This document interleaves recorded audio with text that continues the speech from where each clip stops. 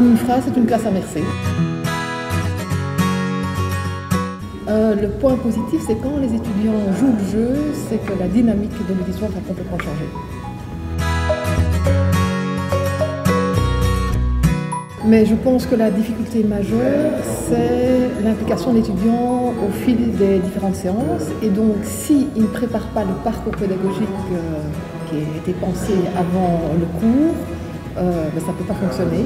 Et donc, ça implique vraiment un changement d'attitude par rapport euh, au cours, dans l'apprentissage. Et c'est quand même difficile par rapport aux étudiants qui sont habitués à avoir une attitude passive et étudier des portes comme juste avant